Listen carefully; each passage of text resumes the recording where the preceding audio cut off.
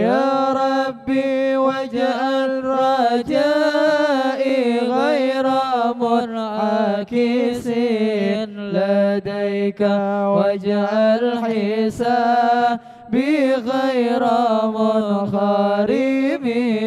والتف بأبدك في الدارين إن له صبرا متى تدعوه الأهوال ينهزم ودا لصحب صلاة منك دائمة على النبي بمنهل ومنسجم مر النحل أدبت البني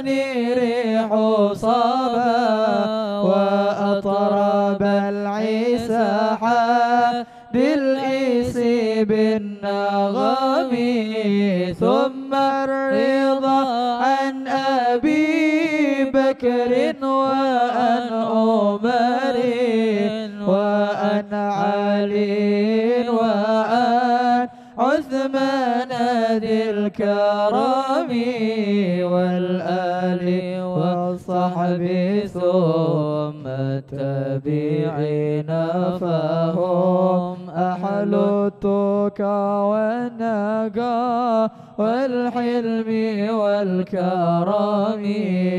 يا ربي بالمصطفى بلغ مقاصدنا واغفر لنا ما مضى يا واسع الكرم.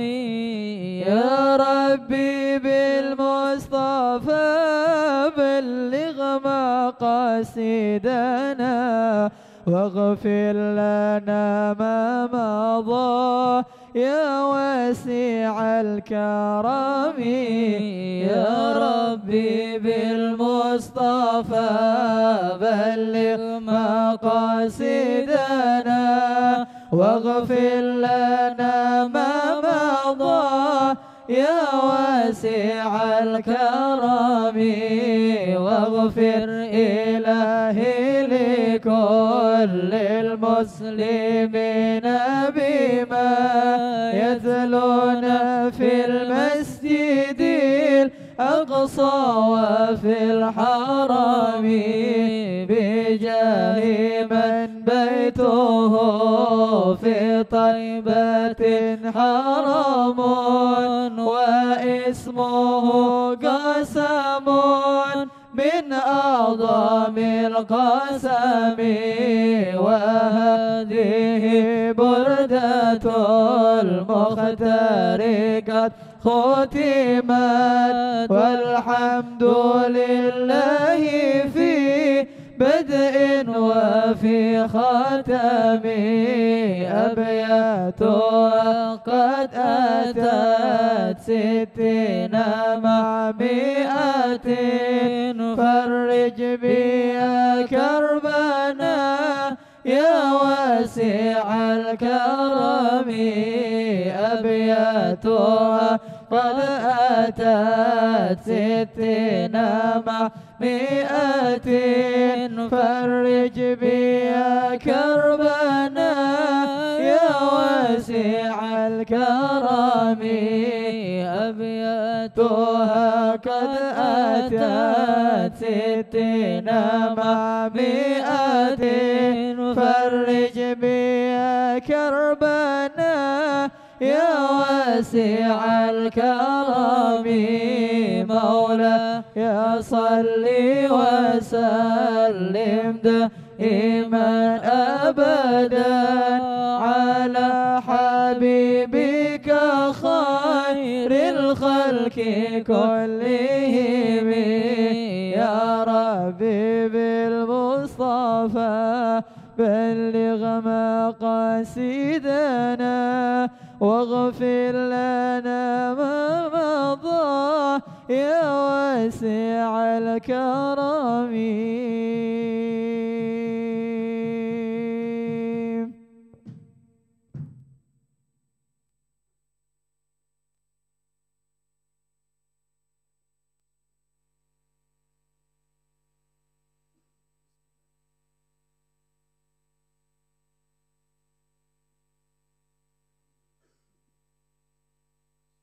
والسلام على رسول الله سيدنا محمد بن عبد الله وعلى آله وصحبه ومن والاه أما بعد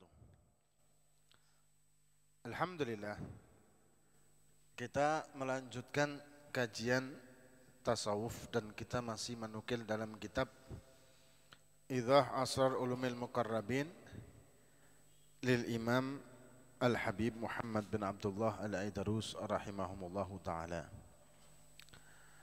Dan kita di pembahasan tentang masalah niat yang sebelumnya sudah kita bahas bersama-sama bahwa niat itu mempunyai athar, mempunyai bekas yang luar biasa atau mempunyai dampak yang luar biasa.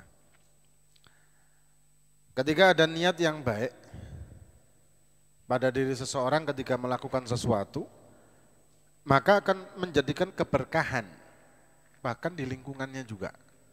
Yang seperti sudah diceritakan oleh beliau Habib Muhammad di dalam kitabnya tentang Khalifah Sayyidina Umar bin Abdul Aziz.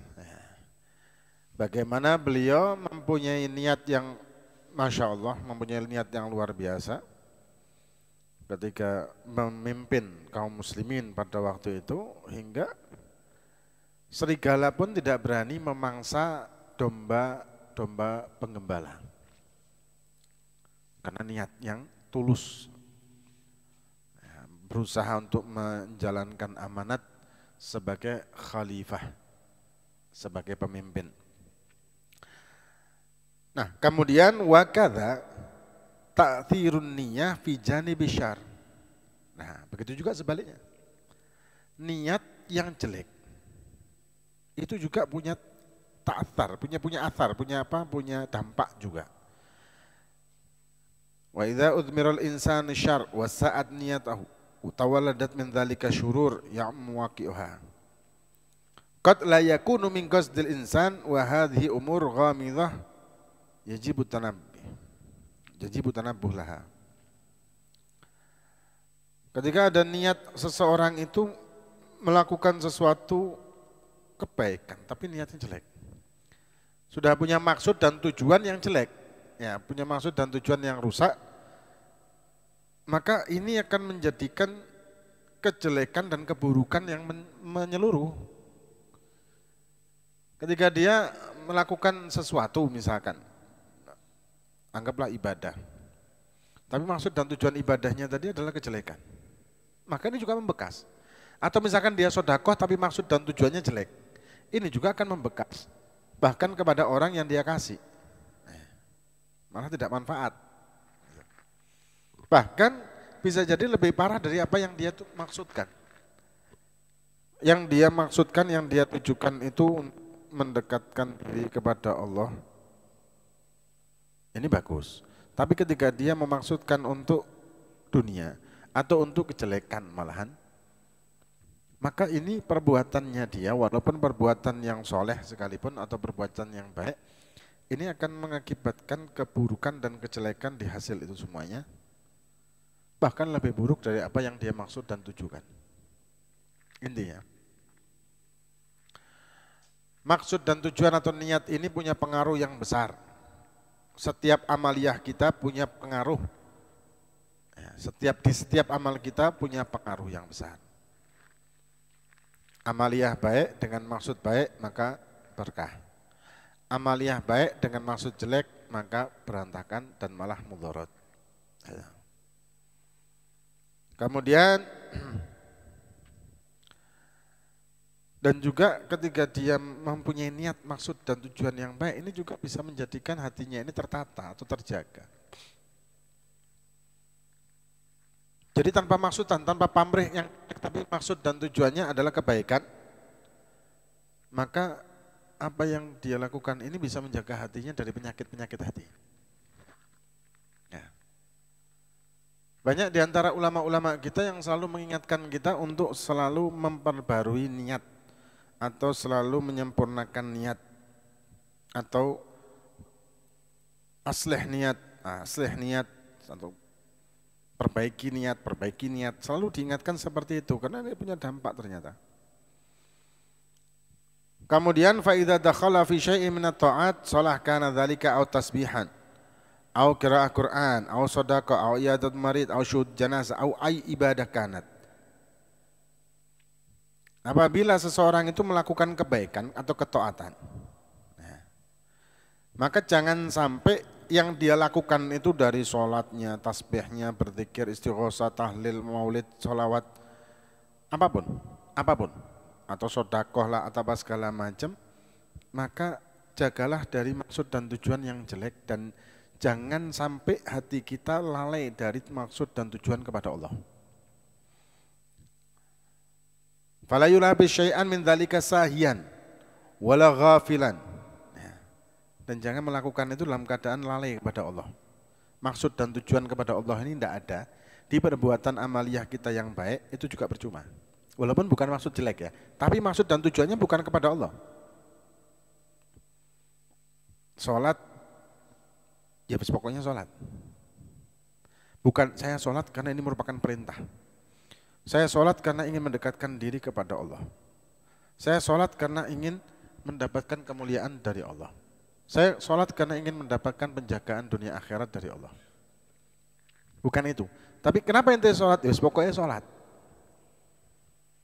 Jadi kosong sebetulnya, maksud dan tujuannya malah kosong. Maka percuma yang dia lakukan sebetulnya. Ya. Walaupun sebetulnya seseorang itu tidak mungkin melakukan suatu pekerjaan atau kegiatan apa pun tanpa maksud dan tujuan yang seperti sudah kita katakan sebelumnya. Kalau dia tidak menyempurnakan maksud dan tujuan untuk Allah, maka takutnya hawa nafsu yang mengambil alih. Ya, hawa nafsu mengambil alih hingga misalkan dia sholat dengan berusaha khusyuk supaya dia mendapatkan kekeramatan, supaya dia mendapatkan magom di sisi manusia, supaya dia bisa ngobati orang misalkan kayak gitu. Ini kan maksud dan tujuan yang sebetulnya bukan kepada Allah nantinya. Nah. Kemudian Faqad qala ba'dul arifin rahimahumullahu taala man dzakarallah bil ghaflah a'radallah anhu. Barang siapa yang berusaha tapi dia lalai. Dia zikir cuma lalai. Dia istighosah cuman hatinya tidak kepada Allah. Maksud dan tujuan dari ghaflah dari dari zikir yang dia baca, istighosah, tahlil yang dia baca itu bukan ditujukan kepada Allah tapi seperti apa ya rutinitas gitu. Rutinitas pokoknya kalau aku gak teko tahlilan tidak enak. Kalau saya tidak datang tahlil sungkan. Kalau maksud dan tujuan seperti itu kan karena makhluk nantinya. Maksud dan tujuan karena sungkan sama orang, hingga dia datang ke acara-acara baik seperti itu dan manfaat itu tadi maka dia tidak akan mendapatkan dari Allah. Karena apa? Karena Allah akan berpaling pada dia. Karena maksud dan tujuannya kan bukan kepada Allah. Maka Allah berpaling. Nah ini bagi orang-orang awam. Amal khawas fa innahum yaltazimuna niyya fi kulli syai'in hatta fil mubahat. Orang-orang yang khusus, orang-orang yang minal aulia, seperti yang ya, sering kita dengar manakibnya Al-Habib Abdullah bin Husain bin Tahir mereka selalu berusaha untuk memaksudkan setiap apa yang mereka lakukan itu kepada Allah untuk taqarruban ilallah. Bahkan fil mubahat. Fa bi ihdharihim niyat mubahat tasiru min al-a'mal allati yarjuna fiha al-ajr. Jadi perkara mubah pun dia maksud dan tujuannya itu Takaruban Allah, mubah loh. Seperti uh, apa namanya? Uh, ini seperti makan. Makan niatnya takaruban Allah. Maka dia akan mendapatkan manfaat. Saya supaya tidak ngantuan, supaya bisa giat semangat ibadahnya, supaya sergap ngaji ini, ya, maka saya tak makan supaya gak keluar, supaya gizi saya terjamin atau tercukupi. Biar bisa semangat dalam beribadah. Ini takoruban Allah. Atau dia memakai pakaian dan dia berusaha memperindah pakaian dia dengan imtithal amr Allah Subhanahu wa taala berfirman khudu zinatakum inda kulli masjidin. Ya, dan juga amal innallaha kata kanjeng Nabi Muhammad sallallahu alaihi wasallam innallaha jamil yuhibbul jamal. Jadi memperindah pakaiannya, penampilannya semuanya itu karena Allah dan karena Rasul. Bukan karena supaya dipandang sama orang. Enggak. Tapi supaya Allah ini jamal, yuhibbul jamal. Allah tayyibun, Allah maha indah, Allah maha baik, maha sempurna, dan Allah menyukai kesempurnaan. Dalam arti kesempurnaan yang se, apa namanya sebatas kemampuan kita untuk melakukan kesempurnaan itu sebagai manusia. Bukan kesempurnaan yang maha sempurna begitu ya, tidak mungkin. Ya. Dalam arti kita berhias yang sesuai dengan syariat, ya, berpenampilan yang sesuai dengan syari dengan maksud dan tujuan untuk memperindah diri kita karena Allah dan Rasulnya, bukan memperindah diri kita di hadapan makhluk atau menjadi daya tarik dari makhluk, ya, bukan. Bahkan Imam Syafi'i kan mengatakan kalau di dalam di badan kita yang bersih maka terdapat jiwa yang bersih atau akal yang cemerlang ya. dengan menjaga bau badan, eh, mandinya teratur. Bukan karena makhluk, tapi ya karena ini merupakan uh, perintah dari Allah dan Rasulnya untuk menjaga kebersihan. Nah, maka dia melakukan seperti itu, maka dia mendapatkan keutamaan dan mendapatkan pahala dengan apa yang dia lakukan tadi. Para istri berhias nawaitunya untuk suami. Berpahala. Ya, berpahala. Begitu juga suami memperindah penampilannya di rumah untuk istri. Berpahala juga. Atau ada seorang dai atau ulama yang dia berpakaian ulama karena untuk dakwah. Berpahala juga. Karena kan umumnya orang itu manusia itu kan melihat penampilan toh. Padahal Imam Ali kan sudah mengatakan undur magal walatan tur mangal. Lihatlah apa yang dikatakan, jangan lihat siapa yang berkata. Ya kan? Cuman kita sebagai manusia ini punya kebiasaan ngelihat sopo sih ngomong. Siapa yang bicara? Ketika kita lihat ada orang yang berpenampilan bukan ulama atau bukan santri berbicara, maka kita sejak awal pembicaraan sudah menutup telinga. Bukan kita dengarkan apa sih bicaranya dia. Ada hikmah di situ apa tidak. Bahkan andai kata benar pun, maka kita akan susah namanya. Kenapa? Karena itu tadi, keluar dari orang yang tidak berpenampilan menurut kita layak untuk menyampaikan hikmah tadi. Padahal hikmah ini dari mana saja. Nah, bisa kita ambil hikmah ini dari mana aja. Kemudian dan juga ketika dia berhias atau berusaha berpenampilan yang bagus, menjaga dirinya, menjaga kebersihan diri dan sebagainya untuk mensyukuri nikmat. Karena Allah telah memberi atau telah menciptakan tubuhnya, menciptakan badannya, menciptakan jasadnya, menciptakan kemampuan dia dan lain sebagainya, maka ini juga berpahala. Intinya banyak sekali pahala-pahala yang bisa kita peroleh gantung dengan maksud dan tujuan. Ya. Jadi amal mubah kalau diniati kita korban ilallah maka kita akan mendapatkan pahala. Dan aulia-aulia mereka selalu berusaha di setiap langkah mereka, di setiap hari mereka melakukan apa saja itu semuanya ditujukan untuk takoruban ilallah apa pun. Al-Imam Al-Habib Abdullah bin Husain bin Tahir mujahadah beliau, beliau selalu mengerjakan yang wajib dan sunnah dan mubahnya dijadikan sunnah dengan niat tadi.